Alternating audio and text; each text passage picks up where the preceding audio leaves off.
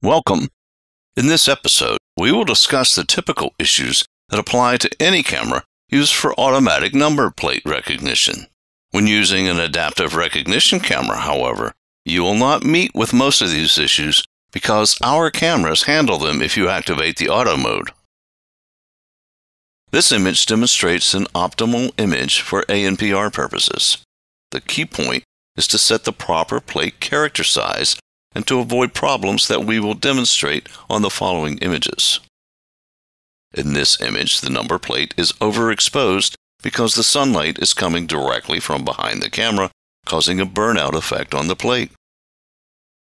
If it is possible, try to place the camera in a position where the sunlight is coming from the side.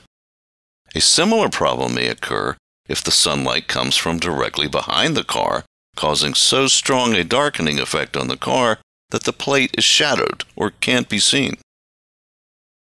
There is another typical mistake, that is when the camera sees the horizon. That means that either the camera position is not high enough or the camera is not tilted down enough. This image was taken with the camera facing the sun. That causes this halo effect and makes ANPR impossible in most cases. Again, you can fix it if the camera is positioned a bit higher and you tilt down the camera more. This type of phenomena is typical when you use a third-party camera, but when utilizing one of our cameras, a simple cleaning of the lens solves the problem. The last typical position error is when the camera is facing the headlights. The same solution can be applied as well as in the former solutions by putting the camera in a higher position and tilting it down more. If you have limitations and the camera must be placed at the level of the headlights, don't worry.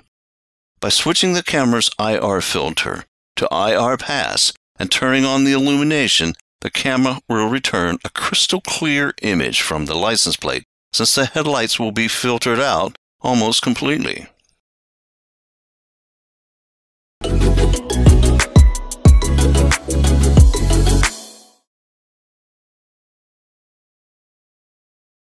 Thanks for watching.